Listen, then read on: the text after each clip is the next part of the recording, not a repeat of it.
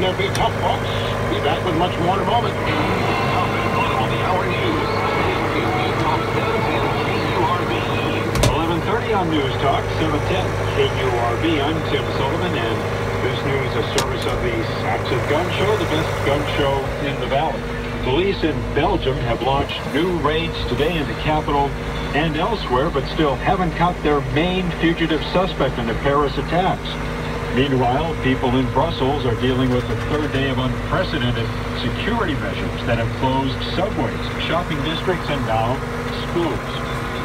On Wall Street, the Dow up 8 points, Nasdaq up 15, S&P 500 up 4.